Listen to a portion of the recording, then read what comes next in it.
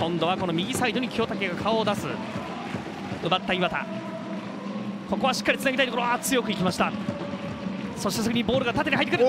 落として高畑粘っている。落ち着いてシュート。決まりました。前半25分。高畑が決めてセレッソ大阪先制。